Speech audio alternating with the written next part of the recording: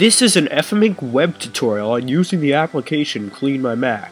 Let's get started using Clean My Mac. If you haven't done so already, download the application using one of the links in the description. So what exactly does Clean My Mac do? It allows you to remove unnecessary files from your Mac, including application cache files and language support. To get started, click on Scan, which is located right here at the bottom of the window. Your computer will now scan for all of the types of files you have checked above. Let's go over these types of files that Clean My Mac scans for. Caches are files that applications store to speed up data loading time. It is recommended that you clear cache files every now and again because they add up to a large amount of space on your computer.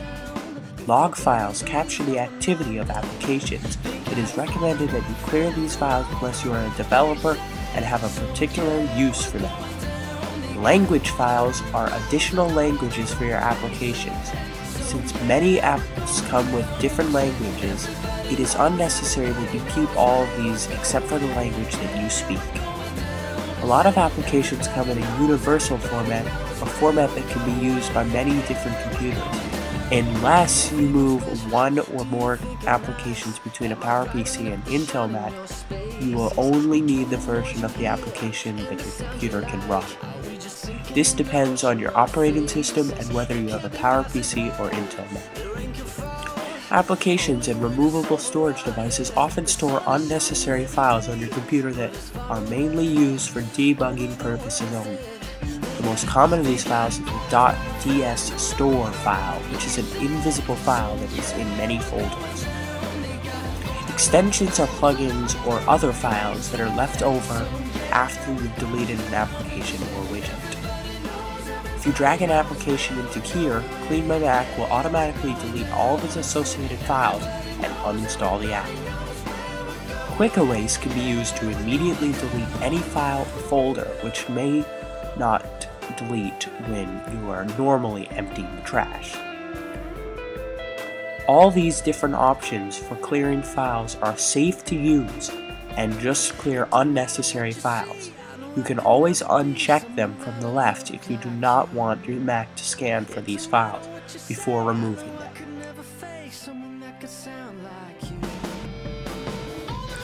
I will now show you how simple it is to uninstall any application using Clean My Mac. Simply drag and drop the application you wish to remove into the Applications tab. Clean My Mac finds all the files associated with the application you chose to delete. You can then click the Remove button, and after typing in your password, the application will be automatically uninstalled. Here is how you remove all the files that you scanned your Mac for. In this case, Clean My Mac has found unnecessary cache and log files. I can see which application these files are from by clicking on the Expand arrow. Now I can uncheck applications that I do not want the log files removed from.